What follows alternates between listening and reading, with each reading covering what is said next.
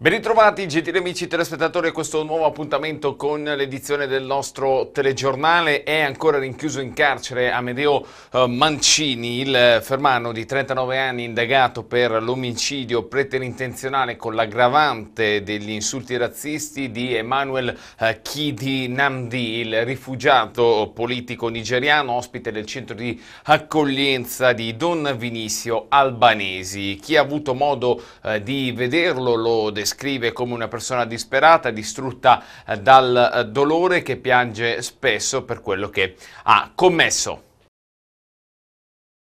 Il GIP non ha convalidato il fermo di Amedeo Mancini, il 39enne accusato dell'omicidio preterintenzionale con l'aggravante dell'odio razziale per la morte del migrante nigeriano Emmanuel Kadi Namdi.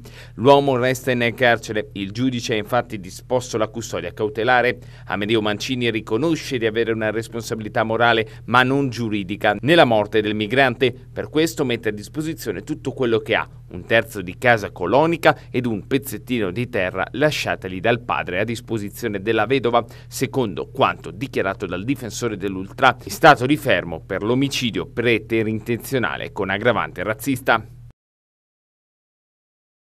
Adesso andiamo negli Stati Uniti con eh, l'uomo che ha ucciso cinque agenti di polizia a Dallas la settimana scorsa, stava eh, pianificando attacchi ben più grandi di poi quelli che ha commesso eh, appunto la settimana eh, scorsa, lo ha reso noto il capo della polizia eh, di Dallas che è convinto che appunto il sospetto avesse altri piani che intendeva punire la polizia per quelli che considerava tentativi delle forze dell'ordine di punire la gente di eh, colore, questo appunto secondo il capo della polizia di Dallas, ma scopriamo qualche dettaglio in più nel prossimo contributo.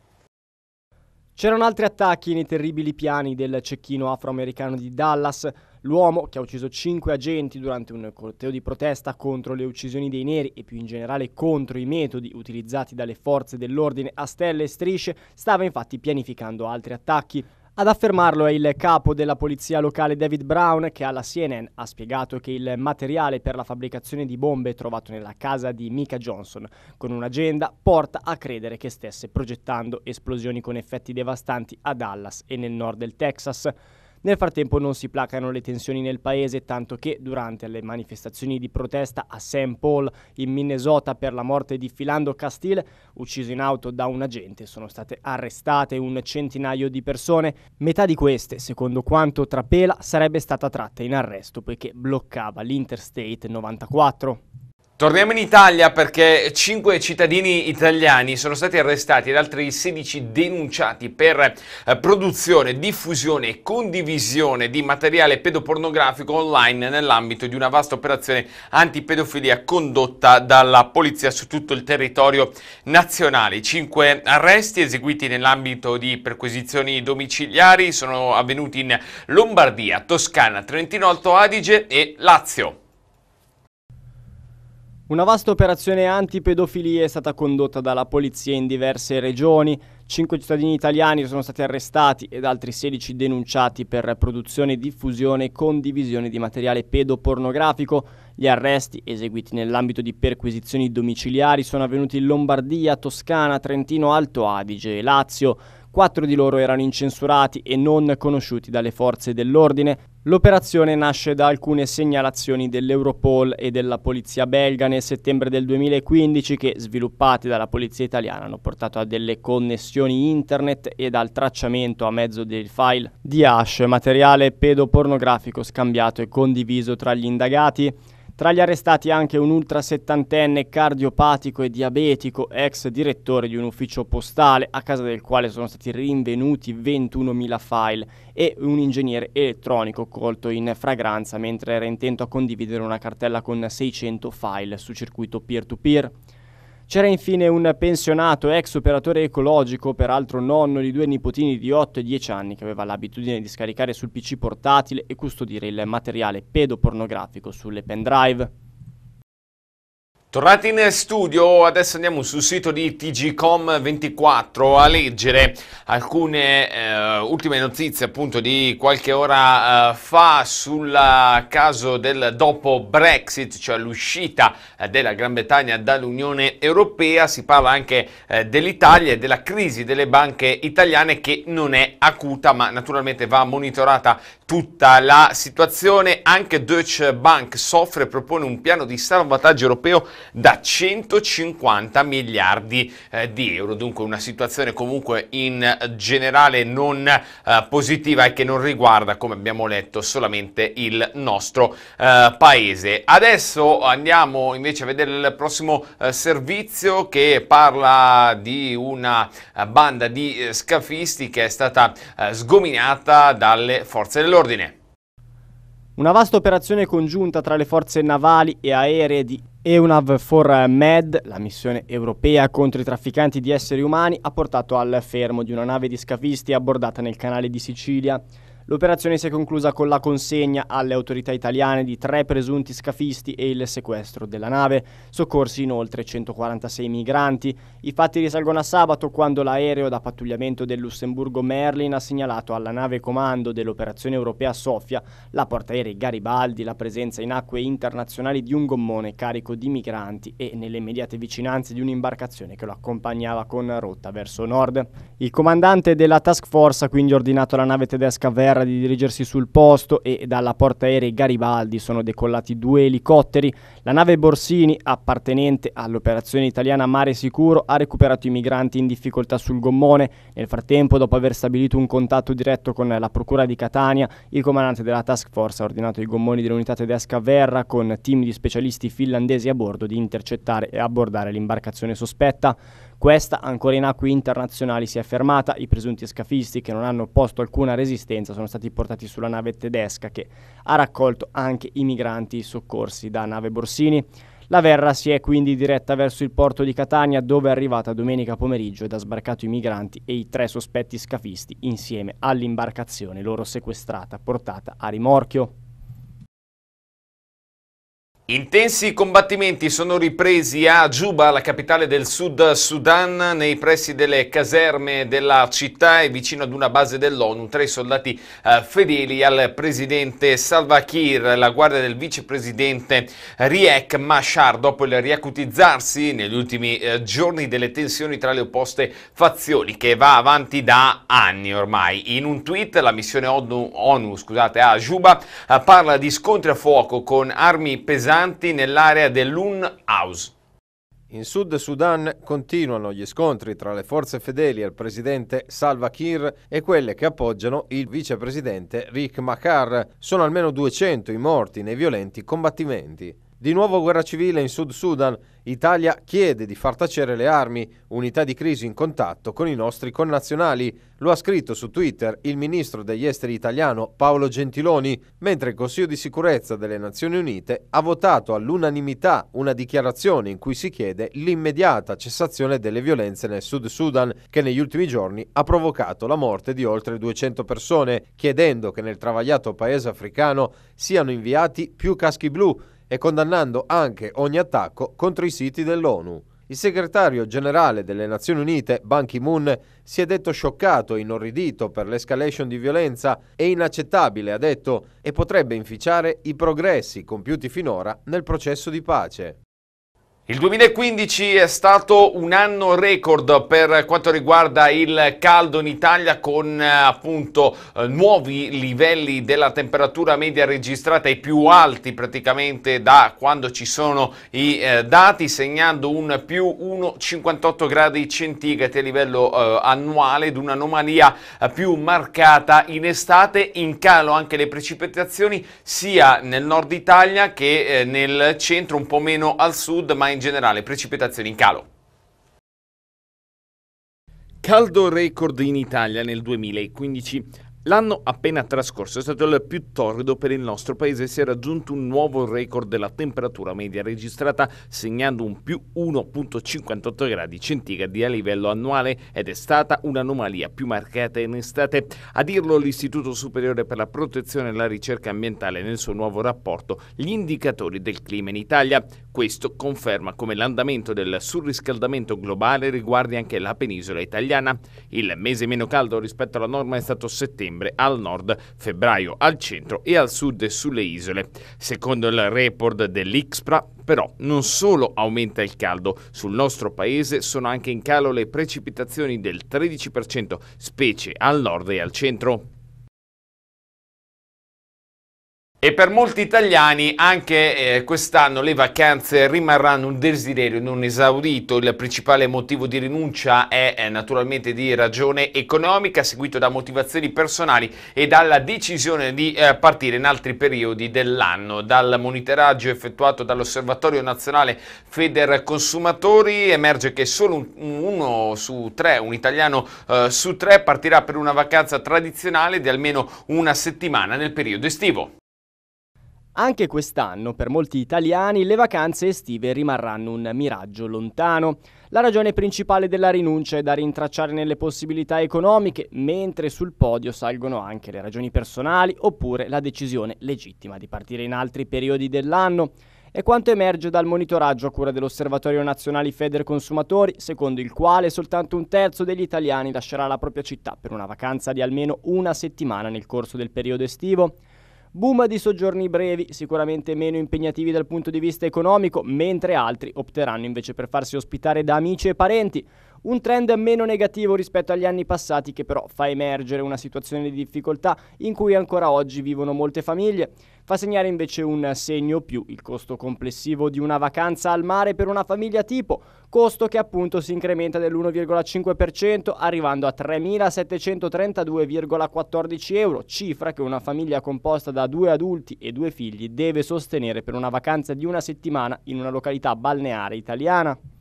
Anticipiamo quelli che saranno gli argomenti della pagina sportiva, naturalmente in primo piano non possiamo non dedicare spazio al Portogallo, alla squadra lusitana che si è laureata campione d'Europa dopo aver battuto la Francia in casa propria 1-0, ha deciso una rete di Eder, quello portoghese non quello italiano e ha portato a casa il primo trofeo davvero importante per la storia del eh, Portogallo. Non solo questo, naturalmente tanto calciomercato perché ormai siamo entrati nella fase calda calda e non solo a livello di temperatura perché è vero manca ancora un mese e mezzo alla fine del calciomercato ma i colpi iniziano ad esserci le trattative sono sempre più importanti. A tra poco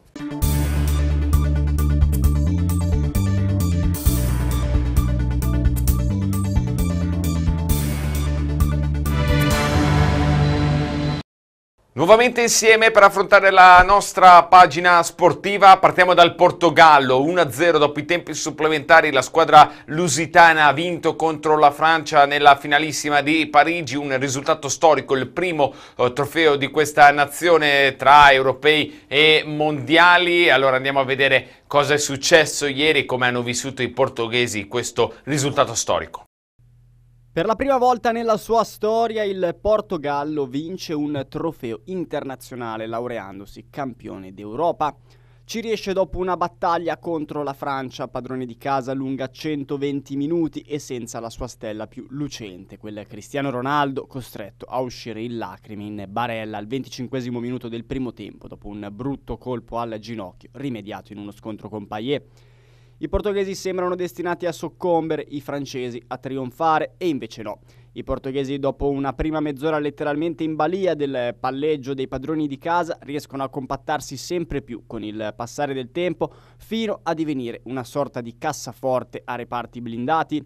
Di occasioni ne hanno sicuramente di più i francesi, Griezmann va vicinissimo al gol con un pallonetto di testa, Giroud nel secondo tempo non è da meno, ma Rui Patricio è sempre presente.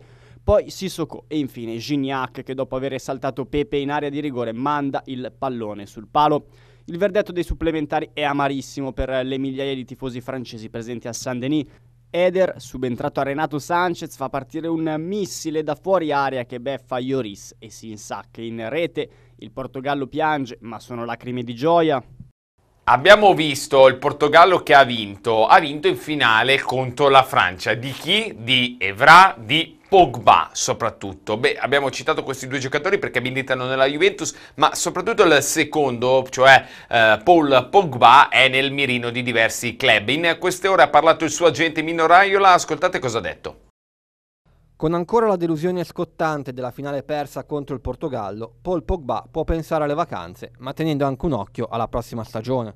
Il Manchester United di Mourinho è pronto a fare ponti d'oro per averlo, ma ad allontanare il francese dalla Premier League è il suo agente Mino Raiola.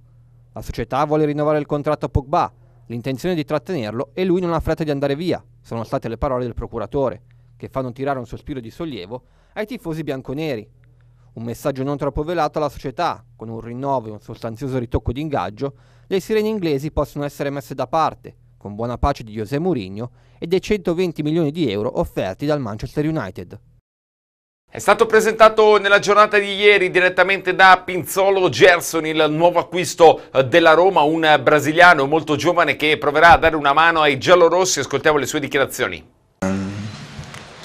Gioco no meio campo, sì, sono un centrocampista, quindi mi muovo su tutto l'arco del centrocampo, mi piace offrire assist ai miei compagni, fare passaggi decisivi, ma anche arrivare alla conclusione partendo da, eh, da fuori area. Sono molto felice di essere qui, per me è un grandissimo onore indossare la maglia di una grande squadra europea e cercherò di fare del mio meglio. E pretendo fare il mio melhor aqui. A Roma è un Beh sì, la Roma è una grande squadra che ha una grande tradizione con i calciatori brasiliani. Anche a me piacerebbe essere ricordato, lasciare un segno come è stato per tanti altri in passato. Quindi anche per questo per me è un grandissimo onore indossare questa maglia e adesso non mi tocca altro che dimostrare sul campo il mio valore. Dá o meu melhor. Ele já falou isso sobre... Effettivamente me lo ha già detto, so che i ruoli sono molto diversi dal Brasile qui, qui, in Europa, però ecco sono pronto a fare del mio meglio, a fare del mio meglio per aiutare i miei compagni con e senza la palla. O Falcão eu non vi giocare perché sono molto nuovo. So che è stato un grande giocatore che ha fatto la storia di questo club, ma io sono molto giovane e non l'ho mai visto giocare. E quanto alle difficoltà, io cercherò di fare del mio meglio, sono sicuro che se lo farò non avrò troppi problemi. Dai, sì, no. E dedichiamo anche spazio alla Formula 1, come giusto che sia, perché è stato un weekend di motori con eh, Lewis Hamilton uh, che ha trionfato al Silverstone in Inghilterra davanti ai propri uh, tifosi. Un altro successo, meno uno in classifica da Nico Rosberg che aveva chiuso al secondo posto, poi è stato penalizzato e alla fine è arrivato terzo. Finisce con 10 secondi di penalizzazione il weekend inglese di Nico Rosberg sul circuito di Silverstone in occasione della decima tappa del mondiale di Formula 1. Il pilota della Mercedes è stato infatti sanzionato, la decisione finale è arrivata dopo quasi 4 ore di attesa, per aver ricevuto una comunicazione dai box che il nuovo regolamento vieta. In balia di un problema al cambio della sua monoposto gli è stato indicato di non utilizzare la settima marcia in aggiunta ad alcuni consigli utili su come agire sul volante. Il tedesco cede dunque il secondo posto a Max Verstappen che aveva tagliato il traguardo in terza posizione a poco meno di due secondi di distanza. A cambiare però non è soltanto l'ordine di arrivo ma anche la classifica piloti in cui ora Rosberg ha soltanto un punto di vantaggio sul compagno di team Lewis Hamilton. Siamo quasi in chiusura, adesso andiamo a ricapitolare le notizie principali di questo telegiornale grazie all'aiuto della redazione di Italpress.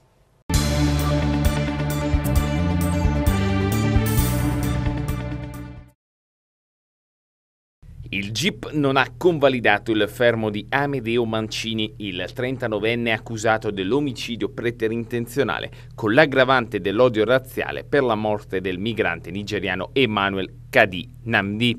L'uomo resta in carcere. Il giudice ha infatti disposto la custodia cautelare. Amedeo Mancini riconosce di avere una responsabilità morale, ma non giuridica, nella morte del migrante. Per questo mette a disposizione tutto quello che ha, un terzo di casa colonica ed un pezzettino di terra lasciatagli dal padre a disposizione della vedova, secondo quanto dichiarato dal difensore dell'Ultra, in stato di fermo per l'omicidio preterintenzionale con aggravante razzista.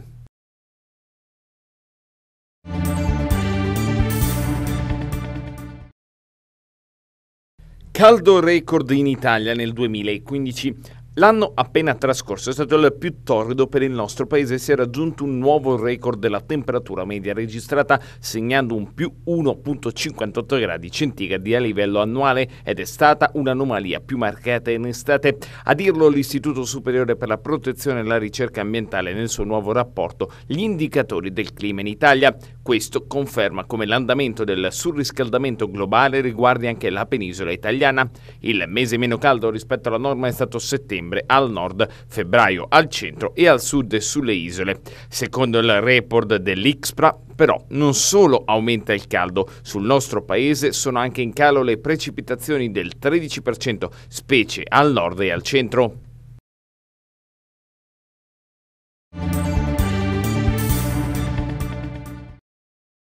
L'Istat non perdona. La produzione italiana a maggio 2016 è diminuita dello 0,6% rispetto ad aprile e a maggio del 2015. Lo rivela una ricerca corretta per effetti di calendario che ha equilibrato i 22 giorni lavorativi dell'ultimo periodo rispetto alla rilevazione dell'anno scorso, compiuta su 20.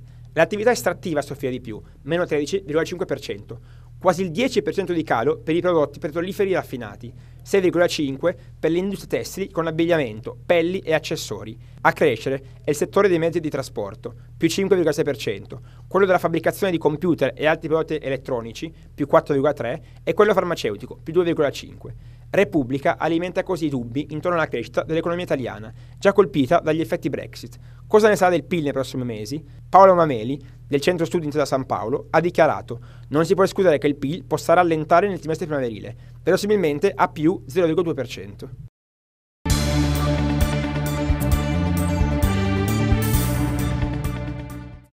È davvero tutto per questa edizione del telegiornale, grazie mille per averci seguito, rimanete mi raccomando sulle nostre reti, noi ci ritroviamo domani, ora lasciamo spazio alle previsioni del tempo, grazie a Trebi Meteo.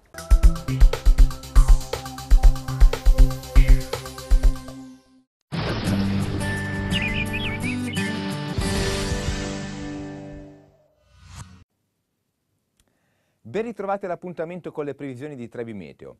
Vediamo il tempo che ci aspetta nella giornata di martedì partendo dall'Europa dove avremo ancora l'anticiclone dominante sul Mediterraneo mentre sui settori centro-settentrionali si approfondisce una perturbazione che determinerà piogge e temporali sull'Europa centrale.